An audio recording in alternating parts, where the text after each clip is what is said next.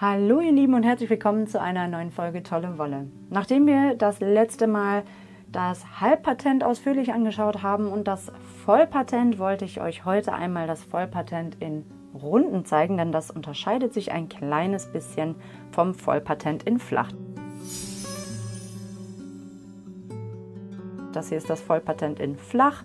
Es ist wunderschön symmetrisch auf beiden Seiten, also identisch auf beiden Seiten, anders als zum Beispiel das Halbpatent, das auf der Rückseite so eine Art Maiskölbchenstruktur hat.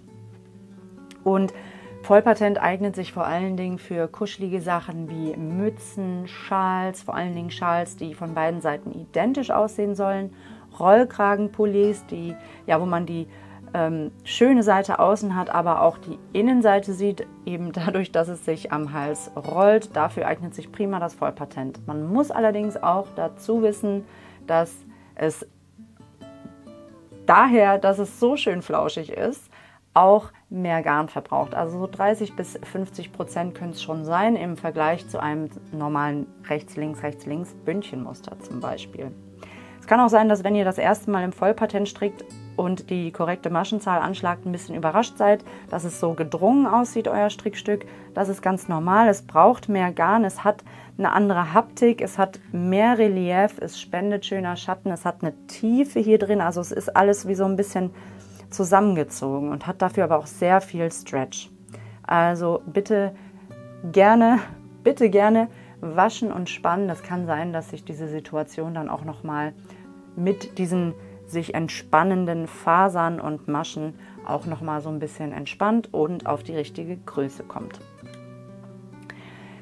Ja, anders als beim Vollpatent, dass man flach strickt und meistens mit einer ungeraden Maschenzahl stricken wir das Vollpatent in Runden mit einer geraden Maschenzahl, damit dieses grundsätzliche rechts-links, rechts-links Muster, was auch im Vollpatent im Grunde fortgesetzt wird, aufgeht. Also rechts, links, rechts, links.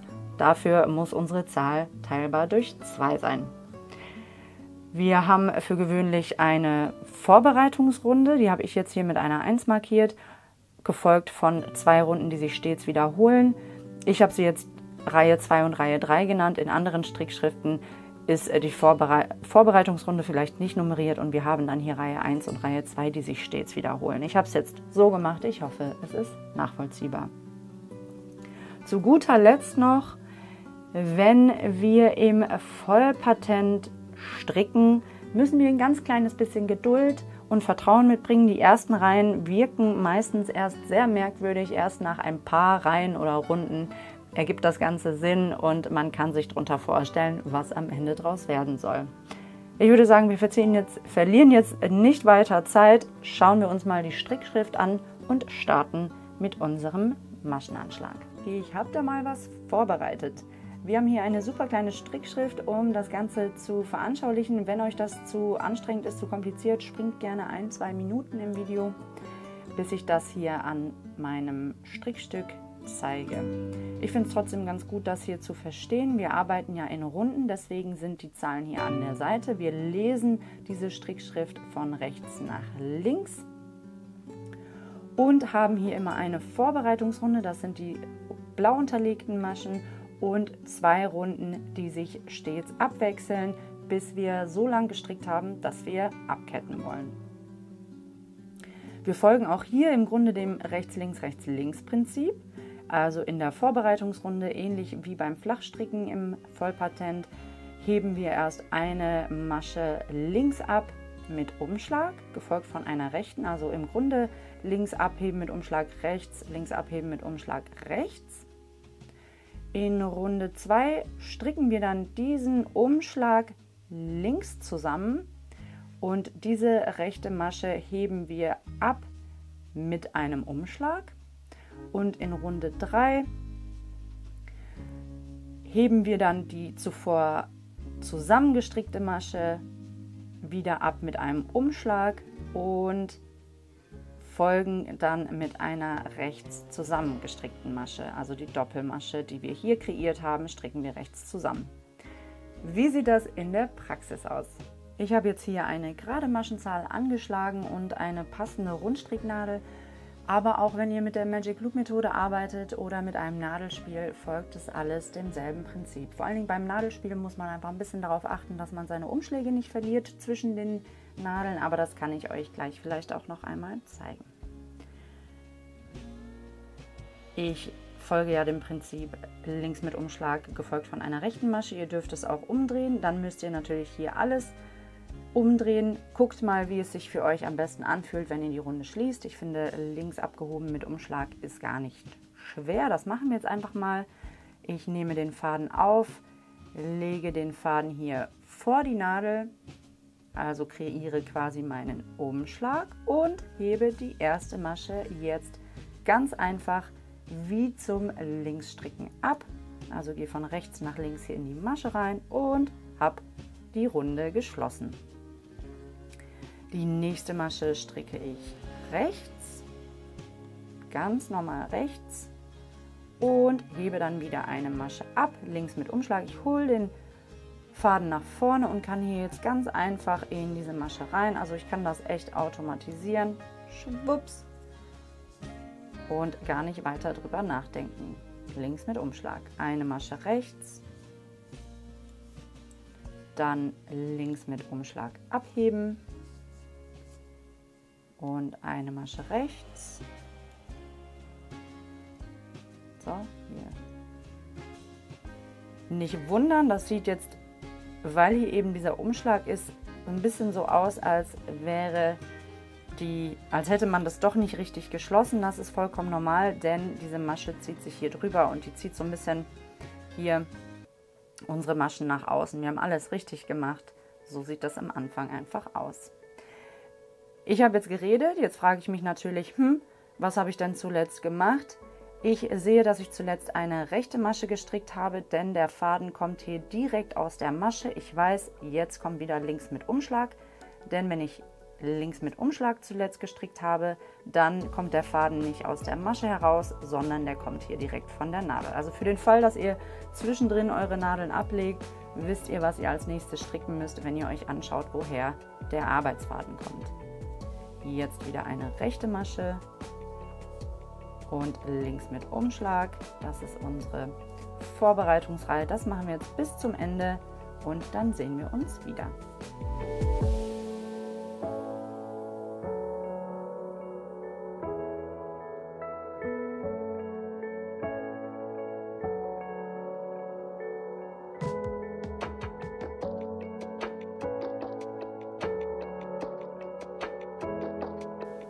Erste Runde ist fertig. Die letzte Masche habe ich rechts gestrickt.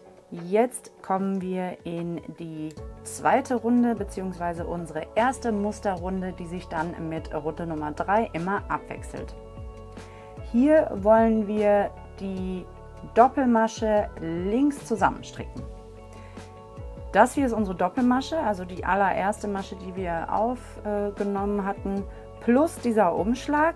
Das kann natürlich sein, dass der, wenn ihr die Nadeln hinlegt, runterfällt. Also bitte dran denken, da muss der Umschlag drauf. Und den stricken wir links zusammen. Das heißt, wir holen unseren Faden nach vorne. Also haben hier jetzt quasi Masche Nummer 1 plus den Umschlag plus unseren Faden, also drei Fäden und die können wir jetzt links zusammenstricken, also beide Fäden zusammenstricken, als wäre es eins. Links zusammen, gefolgt von einem Umschlag und einer links abgehobenen Masche. Also Faden nach vorne, links abheben, das kennen wir ja schon, das Prinzip. Und jetzt geht es immer weiter. Das hier ist auch unser Umschlag. Man sieht es hier so ein bisschen, wie sich der Faden da drüber zieht. Also die stricken wir auch wieder links zusammen und heben ab mit einem Umschlag. Stricken wieder links zusammen. Manchmal liegen die Fäden hier vorne nicht so ganz aufeinander, aber man kann immer hinten schauen, ob sich hier so ein Kreuz gebildet hat. Die stricken wir links zusammen. Und die Masche, die hier rechts erscheint, heben wir wie zum Linksstricken ab mit einem Umschlag. Die stricken wir nicht rechts, die heben wir ab. Und das machen wir jetzt die ganze Reihe entlang und dann zeige ich euch gleich, wie man zwischen diesen Reihen gut unterscheiden kann. Wenn man auch wieder sein Strickzeug hingelegt hat und nicht ganz genau weiß, in welcher Reihe man denn jetzt war.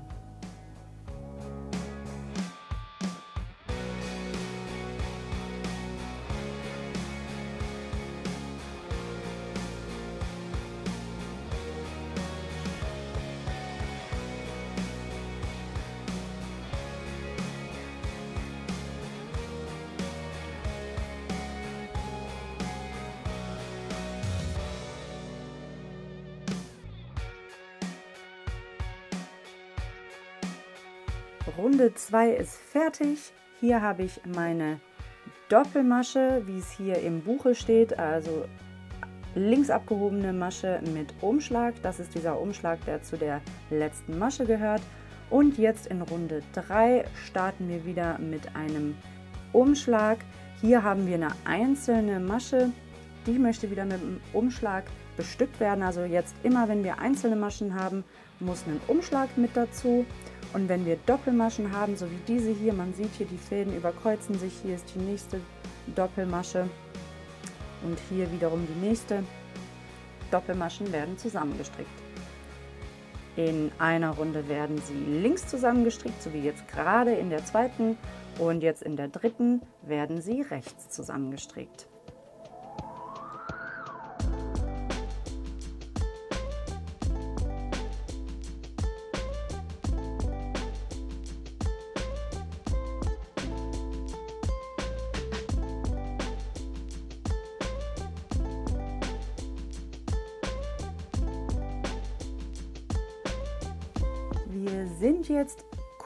Vor dem Übergang wieder von dieser dritten Reihe zur zweiten Reihe. Und hier möchte ich euch einfach einmal zeigen, wie man wieder klarkommt, wenn man sein Strickzeug zur Seite gelegt hat und sich nicht mehr ganz sicher ist, in welcher Reihe man war. Es lohnt sich natürlich immer, vor allen Dingen am Anfang, Reihen auch zu zählen oder sich Häkchen zu machen. Aber wenn ihr so ein bisschen lost seid, dann schaut euch die einzelnen Maschen an.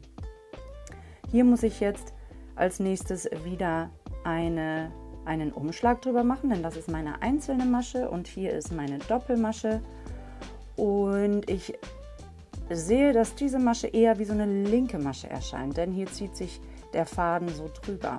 Und wenn diese Masche wie eine linke erscheint, dann muss ich meine Doppelmasche rechts zusammenstricken. Also so wie jetzt gerade in der dritten Reihe. Ich sehe, hier ist diese links anmutende Masche, Doppelmasche, muss ich rechts zusammenstricken. Jetzt gleich beim Übergang wieder zu dieser Reihe habe ich hier ja auch einen Umschlag. Den muss ich links zusammenstricken und sehe auch hier, dass ich in einer Reihe bin, wo die Einzelmaschen rechts erscheinen. Wenn die Einzelmaschen rechts erscheinen, dann werden meine Doppelmaschen links zusammengestrickt. Also Einzelmasche erscheint rechts, ich stricke meine Doppelmaschen links zusammen. Einzelmasche erscheint links, so wie hier. Dann stricke ich meine Doppelmaschen rechts zusammen. Ich hoffe, das hat euch geholfen. Ich hoffe, es war nachvollziehbar. Ich stricke jetzt noch ein kleines bisschen weiter und zeige euch dann, wie man abkettet.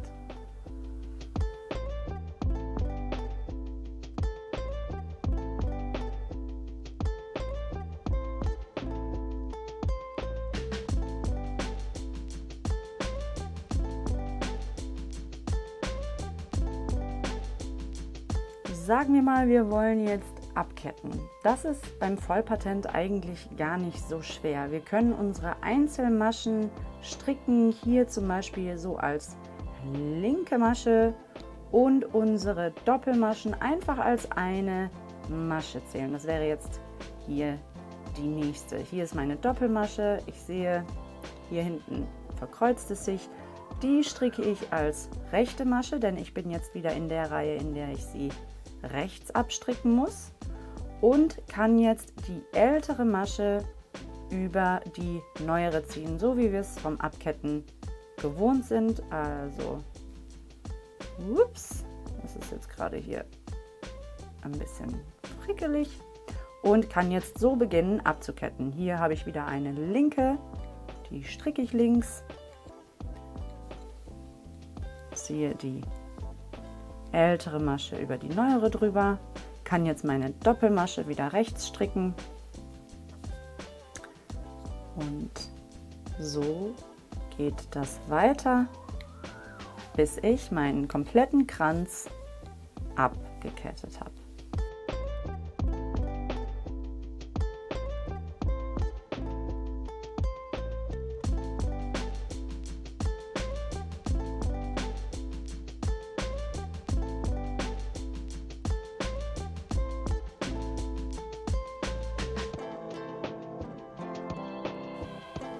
So sieht das dann ungefähr aus. Ist eigentlich ganz hübsch.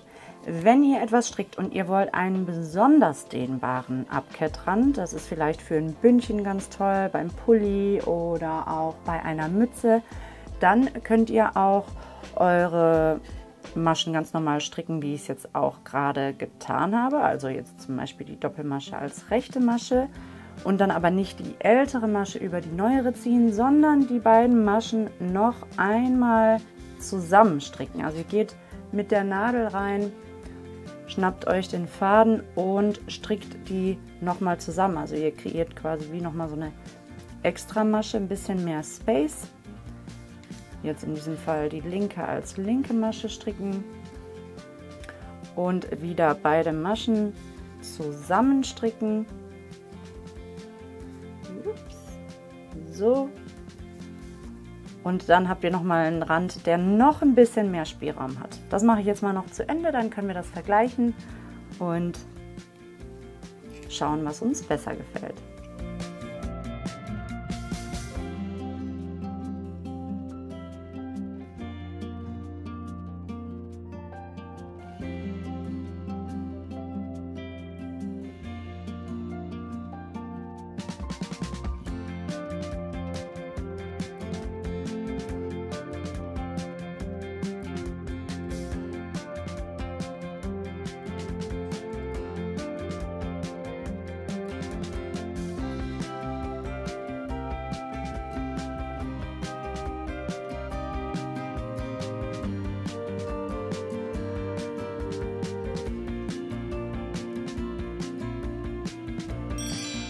Sieht es dann abgekettet aus. Das hier ist unser normaler Rand, wo wir die ältere Masche über die neuere gezogen haben.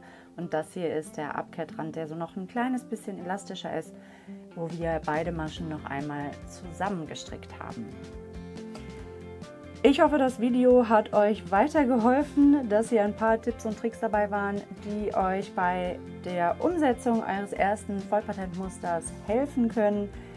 Lasst mich gerne in den Kommentaren wissen, was ihr euch in Zukunft so an Strickmustern wünscht, was ihr für Wünsche habt, wie es euch geht. Lasst ein Like, ein Abo da. Ich freue mich immer von euch zu hören und wünsche euch bis zum nächsten Mal fröhliches Nachstricken und alles Gute. Ciao!